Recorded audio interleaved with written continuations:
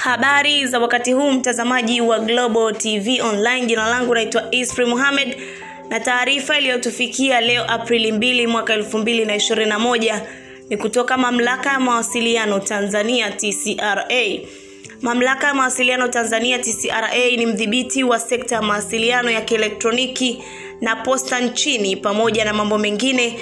Ina jukumu la kusimamia gharama na tozo katika huduma za mawasiliano zinazotolewa na watoa huduma na kuwalinda watumiaji wa huduma hizo.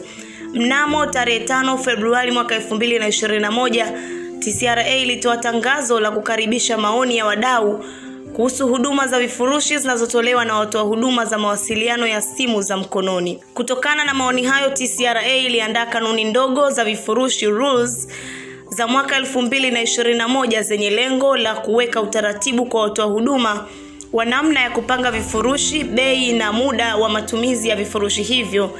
Kanuni hizo zimeanza kutumika tarehe 2 Aprili mwaka 2021.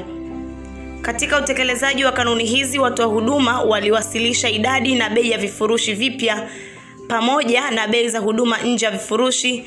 TCRA imeidhinisha idadi ya vifurushi vilivyowasilishwa pamoja na bei za huduma nje ya vifurushi na tayari zimeanza kutumika tarehe 2 Aprili mwaka 2021.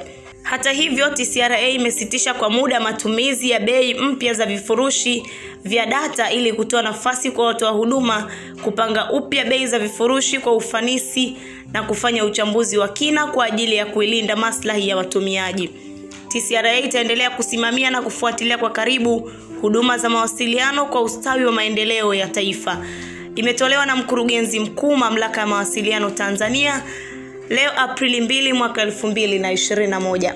Mtazamaji, hiyo ndiyo habari iliyotufikia usiku wa leo Aprili 2 mwaka 2021 na kama ni mfuatiliaji utagundua leo tangu asubuhi kumekuwa kuna mabadiliko ya vifurushi kwenye mitandao ya simu, jambo ambalo limezua gumzo sana mitandaoni na watu wamekuwa wakilalamika, na hiyo ndo taarifa ambayo imetolewa na Mamlaka ya Mawasiliano Tanzania TCRA ya kusitisha bei mpya ya vifurushi mpaka pale watakapoona tena. Mimi naitwa Isri Muhammad, asante kwa kuitazama Global TV.